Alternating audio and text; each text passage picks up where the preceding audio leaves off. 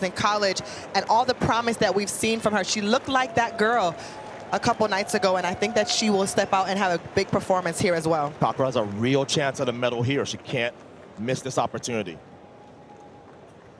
Cockrell has Rushell Clayton Set. in lane eight beside her. Final of the women's 400 meter hurdles for a world title. Here we go.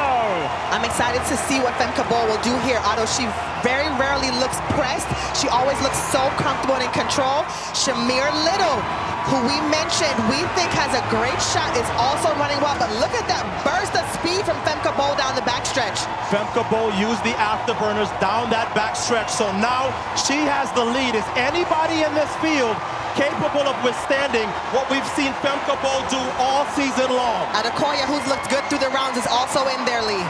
And she goes by Adekoya of Bahrain. To the right is Shamier Little, who comes off the turn beautifully.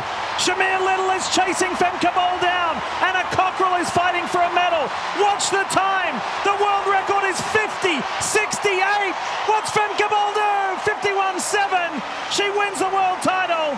And Shamier Little brilliantly chases her home for a world championship medal as well.